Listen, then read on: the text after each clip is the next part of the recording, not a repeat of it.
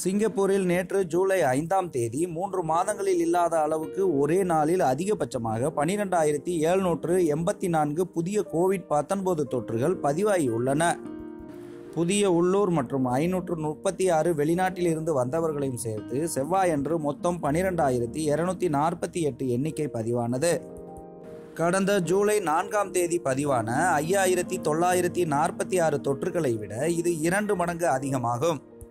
Covid பத்தொன்பது நோய் தொற்றால் மேலும் இரண்டு பேர் இறந்துள்ளனர். இது சிங்கப்பூரின் மொத்த கோவிட் இறப்பு எண்ணிக்கையை ஆயிரத்தி நானூற்றி இருபத்தி ஒன்றாக உயர்த்தியுள்ளது. ஆக்சிஜன் தேவைப்படும் எழுபத்தி ஏழு நோயாளிகள் மற்றும் தீவிர சிகிச்சை பிரிவில் உள்ள பதினாறு நோயாளிகள் உட்பட மொத்தம் ஆறுநூற்று எண்பத்தி மூன்று நோயாளிகள் மருத்துவமனையில் அனுமதிக்கப்பட்டுள்ளனர். சமூகத்தில் உள்ள தொற்று அதிகரிப்பால் அனைத்து மருத்துவமனை வார்டுகள் மற்றும் பராமரிப்பு இல்லங்களில் கோவிட் பத்தொன்பது பாதுகாப்பு மேலாண்மை நடவடிக்கைகள் நான்கு வார காலத்திற்கு பாதிக்கப்படக்கூடிய மக்களை பாதுகாக்கும் நோக்கில் கடுமையாக்கப்படும். இந்த நடவடிக்கைகள் ஜூலை ஏழு முதல் ஆகஸ்ட் மூன்று வரை அமலில் இருக்கும். காலப்போக்கில் மருத்துவமனைகளில் உள்ள நோயாளிகள் தங்கள் சேர்க்கையின் காலத்திற்கு தலா இரண்டு முன் நியமிக்கப்பட்ட பார்வையாளர்கள் அனுமதிக்கப்படுகிறார்கள். மேலும் எந்த நேரத்திலும் ஒரு பார்வையாளர் மட்டுமே நோயாளியுடன் இருக்க அனுமதிக்கப்படலாம்.